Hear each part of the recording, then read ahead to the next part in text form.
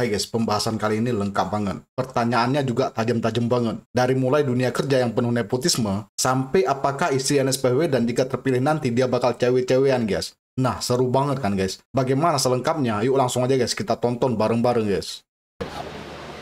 Kalau Pak Andi, pertanyaan saya adalah bagaimana pandangan Bapak dengan praktik nepotisme di dunia kerja yang saat ini ramai di media sosial dan jadi pembahasan netizen khususnya Gen Z yang pada akhirnya menganggap proses rekrutmen ini hanya formalitas saja. Terima kasih Pak. Ya, uh, apa nepotisme di dunia kerja yang sedang menjadi bahasan uh, di netizen yang uh, rekrutmen formal itu cuma cuma uh, formalitas saja. Di dunia kerja. Nepotisme di dunia kerja. Jadi misalnya masuk pekerjaan karena ada ini apa namanya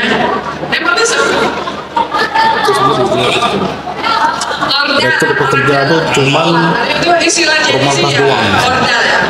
Mau langsung tadi kemudian langsung aja dulu langsung ya Gini, sa- saya termasuk yang berpandangan meritokrasi itu adalah salah satu agenda penting untuk Indonesia kita kerjakan. Karena dengan meritokrasi satu-satunya cara kita akan mendapatkan yang terbaik. Dan perusahaan-perusahaan yang menerapkan meritokrasi pasti perusahaan-perusahaan yang akan bisa maju. Yang tidak pakai meritokrasi pasti akan sulit untuk maju dan berkembang. Nah, kami melihat proses rekrutmen di tingkat swasta itu memang polisinya dibuat di swasta. Karena itu adalah milik apa milik eh, private entitas. Negara bisa memberikan anjuran negara bisa memberikan prinsip-prinsipnya. Tapi yang kami ingin pastikan adalah untuk yang diselenggarakan negara prosesnya meritokratik prosesnya non nepotistik tapi berdasarkan kepada kinerja yang dikerjakan oleh negara kalau dikerjakan oleh swasta dikerjakan oleh swasta itu memang ruang kewenangannya ada pada pihak swasta. Negara bisa menganjurkan. Tapi saya ingin ingatkan pada semua. Teman-teman kebetulan nanti malam Brazil akan bertanding di Jakarta International Stadium lawan Argentina. Kak Uni di seluruh dunia satu-satunya negara yang kalau Piala Dunia selalu masuk final itu namanya Brazil. Kenapa? Dalam urusan sepak bola, dalam urusan sepak bola, Brazil itu 100% meritokratik. Tapi urusan lainnya tidak. presidennya Tapi karena dia meritokratik, siapa saja bisa main bola, dia akan mendapatkan kesempatan untuk bisa berkarir. Tidak penting bapaknya siapa, ponakannya siapa, paman sudah penting. Siapa saja dia akan main. Indonesia, saya sering menemukan, coba lihat, anak kita berangkat Olimpiade Sains, menang. Anak kita main badminton, menang. Anak kita main panjat tebing, menang. Kenapa? Karena meritokratik. Untuk ikut jadi peserta Olimpiade Sains nggak bisa nepotisme. Oke, untuk main badminton nggak bisa nepotisme.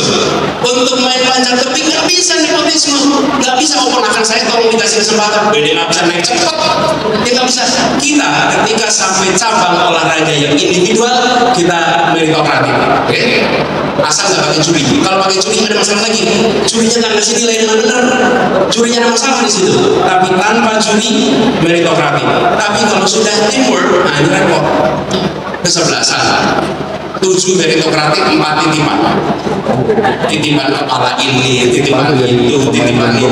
jadi ketika bersebelas yang tujuh meritokratik yang empat itu berlalu nah ini yang membuat kesebelasan kita jadi nggak kesebelasan beneran. Sebelas orang tujuh kesebelasan empat titipan. Itu gimana bisa main dengan bener? Tapi kalau badminton nggak berani titipan jadi saya ingin ingatkan kepada semua, meritokrasi adalah kunci keberhasilan untuk sebuah bangsa menjadi bangsa yang hebat. Itu kunci swasta terbuka. Ya. Kak, ada yang dari kau ini teman Tuli juga berbicara. Jadi ini ini Baik, Bismillah, Assalamualaikum warahmatullahi wabarakatuh. Mohon izin Pak Uni, Pak Anies.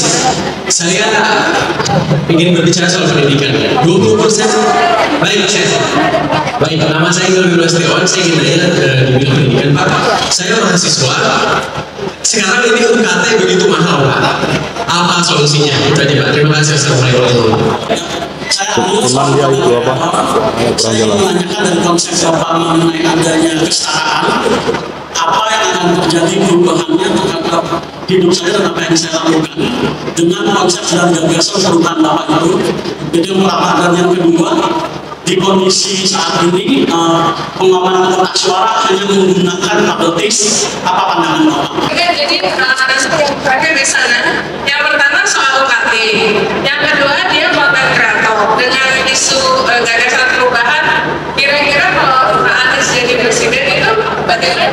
hidupnya konten kreator dan Siap. soal Kak, saya termasuk yang tidak setuju dengan industrialisasi pendidikan tinggi. Menurut saya pendidikan tinggi itu bukan sebuah industri untuk negara seperti Indonesia. Kenapa? Karena pendidikan itu eskalator sosial ekonomi yang harus bisa menaikkan siapa saja naik kelas secara sosial ekonomi. Karena itu negara harus memberikan investasi di bidang pendidikan. Saya garis bawahi investasi. Alokasi dana untuk pendidikan, untuk kesehatan, untuk kebudayaan dan keagamaan jangan dipandang sebagai kos tapi dipandang sebagai investasi. Kalau investasi, maka yang diperhitungkan adalah berapa nanti balikan yang akan muncul. Ketika kita investasi di pendidikan tinggi, maka anak-anak yang nanti naik kelas karena investasi maka dari keluarga tidak makmur pramakmur bisa kuliah ketika mereka menjadi sarjana dia akan mengangkat kondisi ekonomi seluruh keluarganya itu hasil investasi kita pada pendidikan anak-anak dari keluarga prasejahtera. Tapi kalau pendidikan tinggi itu kita tidak mau investasi yang masuk pendidikan tinggi anak-anak kelas menengah ke atas. Ketika mereka masuk kelas menengah ke atas ketika mereka lulus dan bekerja keluarganya nggak perlu diangkat lagi sama sosial ekonomi.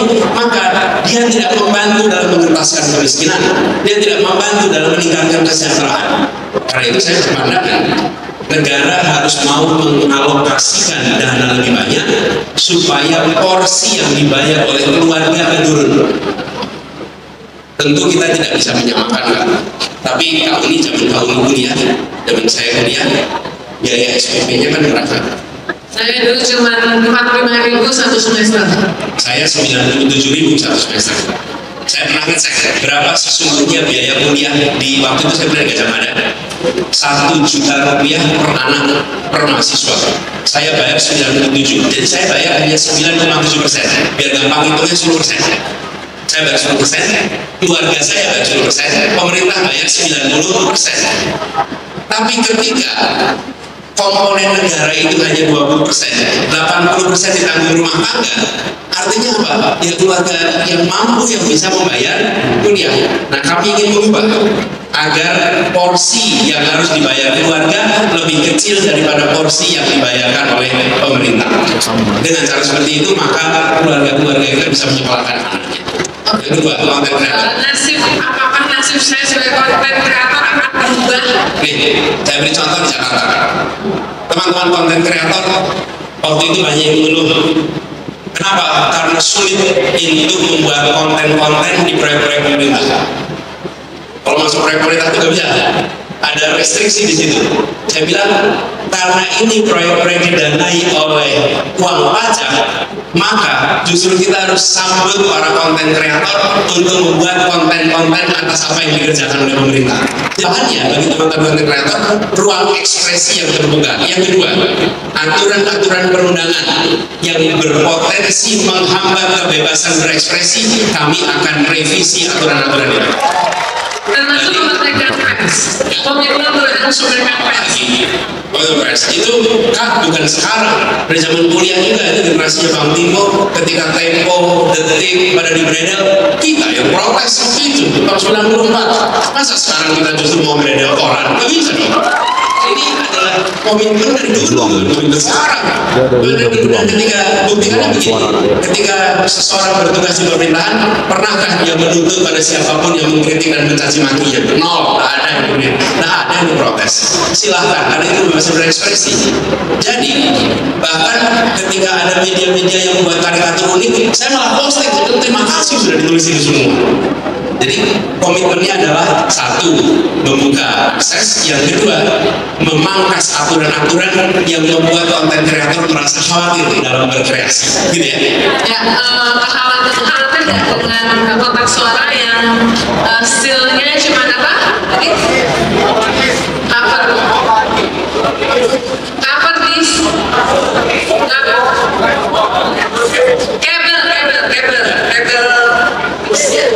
Ya, sebenarnya itu kan itu segel aja ya, seal aja. Teman-teman juga lihat kalau kontainer besar itu yang melakukan shipping antar benua itu kuncinya ya memang tipis saja. Tapi itu dijaga betul. Kalau itu segel putus maka dia akan dapat penalti yang besar sekali. Nah menurut saya yang harus kita lakukan bukan membesarkan silnya tapi membesarkan pengawasannya. Selama pengawasan rame-rame itu dilakukan maka silnya jenis apa pun insya Allah kecurangan akan bisa di, di, ditengarai gitu ya. Pas di sini juga ada Ibu Anies. Kalau Pak Anies jadi presiden, bagaimana posisi ibu negara dalam pemerintahan?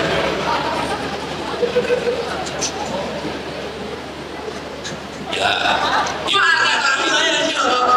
Enggak ya ibu negara ya. Menjalankan ex officio nya ibu negara. Ada tuh tugas-tugasnya jadi ini ya ketika saya bertugas di di DKI ini jadi kalau mau melihat apa yang akan dikerjakan besok jangan tanya besok mau apa tapi jawabannya cuma bikin seluruh kuping kita. Tapi lihat yang udah dikerjakan kemarin oke kira-kira ketika jadi gubernur istrinya capek-capek nggak di penjara Jakarta kalau nggak capek-capek ya besok juga nggak capek-capek juga tapi kalau kemarin dia capek-capek dia besok dia capek-capek juga. Ya. nah kemudian apa? Begitu masuk bertugas saya minta kepada biro hukum untuk menyusun apa saja yang saya ex officio dan apa saja yang ibu gubernur ex officio. Itu ada tuh. Nah maka ibu gubernur ngurusinnya yang ex officio itu aja. Yang menjadi urusan saya bukan menjadi tanggung jawab dia. Jadi kita jadi dengan cara begitu lebih enak apalagi kalau sudah sampai rekrutmen orang dan lain-lain. Justru harus dibuat rapi dipisahkan antara pribadi dan negara. Baik, kita sudah sampai di ujung dari sesi dengan calon presiden. Enggak, Baswedan. saya datang sama-sama. Oke. ya kan? salah satu tim kita. Kalian berdiri dong kalian. Ini kalian itu adalah salah satu ya generasinya mungkin generasi milenial ya antara perbatasan Coba umurnya berapa dulu biar kita tentukan milenial atau ya milenial atau kolonial. tapi 42 pemuda di atas milenial. Maaf ya Kak Leon. tapi kak kalian ini ketika masih mudanya dia Nah, gimana guys? Mantap banget kan penjelasan Pak Anies. Oke, langsung aja berikan tanggapan, opini, sanggahan, dan kritik di kolom komentar karena itu bermanfaat banget bagi kita semua, guys. Dan bisa menjadi dan bisa menjadi dan bisa menjadi referensi. Oke, terima kasih udah nonton hingga akhir. Sampai jumpa di video selanjutnya. Wassalamualaikum warahmatullahi wabarakatuh.